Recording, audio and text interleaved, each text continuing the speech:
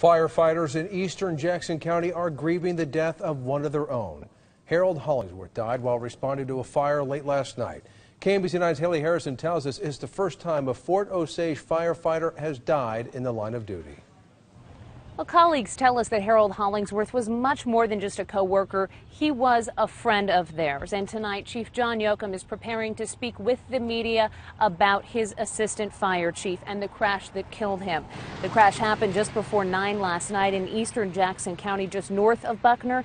A Missouri Highway Patrol spokesman says Hollingsworth was following a fire engine in his department vehicle to the scene of a house fire. It was raining, and as he pulled out of a curve, his vehicle hydroplaned, ran off the road, and struck a tree. He died a half hour later at the hospital. Hollingsworth is survived by his wife and two sons. He was a 16 year veteran of this department, but had been a career firefighter. Chief Yoakum is now expected shortly to make a statement about his professional and longtime personal relationship with Harold Hollingsworth.